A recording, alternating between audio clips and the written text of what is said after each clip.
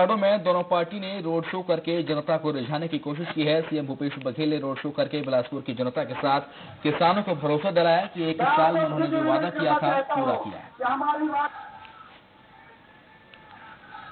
शहरी क्षेत्र में भी जहाँ छोटे भूखंडों की रजिस्ट्री हुई और छूट दी हमने तीस परसेंट के कलेक्टर गाइडलाइन में रेट में कमी की।